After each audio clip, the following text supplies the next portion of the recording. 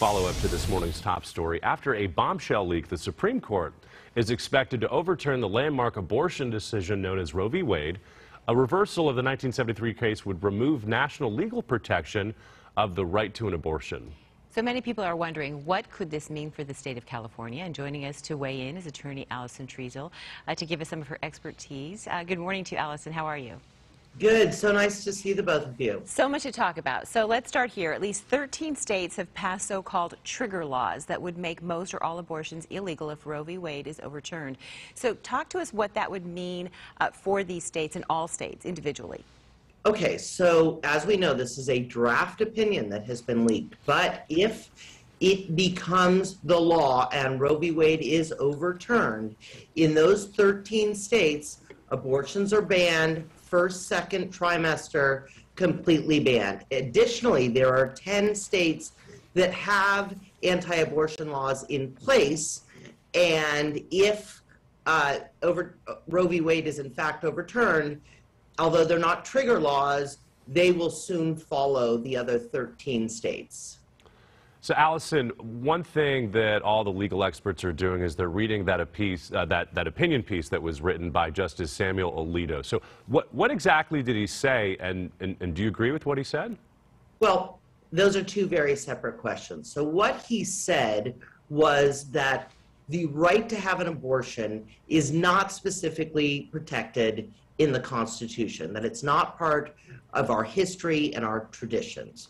So he is a contextualist. He is somebody that, that says, has always said, that you look at the text of the Constitution, and essentially, if it's not written in there, that right is not protected. So he's saying that even the 14th Amendment does not protect this right to privacy. You do not have a right to have an abortion, and that, that Roe was frankly wrongly decided.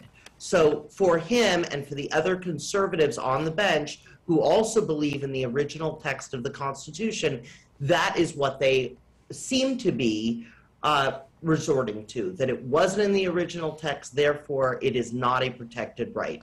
Can you talk about this leak, Alison? Um, how do you think this happened? This this doesn't happen very often. What, what happened here that allowed this to?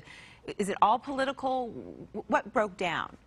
Lynette, when you say it, it doesn't happen often, it never happens like this. It has never happened where the actual entirety of the opinion has been released to the public.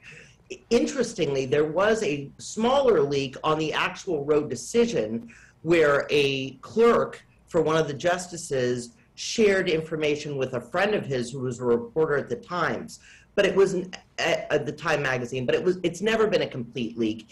And yes, of course, do we think it's political? It was somebody who wanted to release this case early to stir some type of political pot. We don't know who it is. We don't know what justice or what clerk or I mean, you know, although there's probably only 40 people that had their hands on this draft opinion. They are investigating it, but they don't know who leaked it and what their motivation was.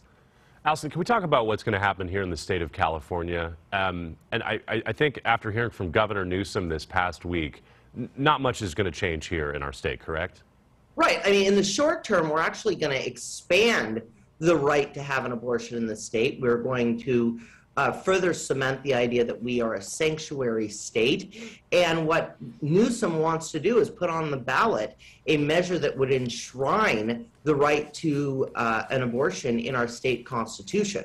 So, in the short term at least, um, the intention for this state is to expand uh, a woman's right to choose. What are your thoughts about um, the companies that are coming in and saying they will pay for an employee to travel to a state? Like I'm reading Amazon saying that they will pay to cover the cost for travel for one of their employees uh, to go to a state that would allow abortion. Tesla, uh, Citibank, Yelp, uh, or Citigroup, Yelp, Lyft. Like there are a lot of companies that are coming out and saying, okay, if we live, if you're here in a state that does not allow this, that bans it, we're going to go ahead and pay your travel expenses. What are your thoughts on that? Well, I think it's interesting, but you know, if in fact the polls are correct, 70% of Americans want some form of choice. They want limitations, they want some form of the right to choose. So perhaps this is in response to what they understand their employees want, what the majority of people in this country want, which is access to have the right to choose.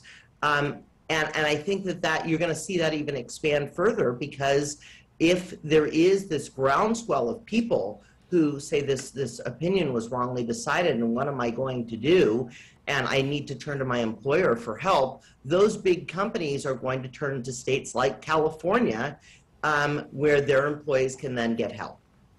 And then, so Alison, the, the, the one way around all of this, right, it, it has to deal with, with voting and getting to, to, to vote for a candidate that, that's going to essentially make decisions that, that you favor. And, and we saw this back in 2016. You had someone running for president. He made it very clear that his, his alignment was going to be to appoint Supreme Court justices who are conservative and would likely overturn this. So is the solution not to get to the ballot box and, and exercise your right to vote? Well, that's essentially what's going to happen, right? So this should not be a major surprise to people for several reasons. Um, two, three very conservative judges were justices were appointed to the bench in short order. Um, anyone that had any experience with any of their cases or their opinions knew that they questioned Roe v. Wade. Were they going to go far enough to overturn it? We did not know that. Um, and then the questions that they asked while this case was being argued indicated that that was the direction. And the thing about this opinion that people need to understand is that it doesn't ban abortions, it returns the power to the states to individually decide what is best for that state. And how do you deal with individual state laws? Well, you you look to the politicians that are elected in that state, and if they don't align with what you believe, um, then you need to get out the vote. You need to speak up, and I think that that they, that is correct. That it's it will come down to individual states and the people running those states. And if you're not uh, you're not in line with those those opinions and the way they feel about certain things, like abortion or gay marriage or whatever that cause is, then the answer to that is to change who is in office.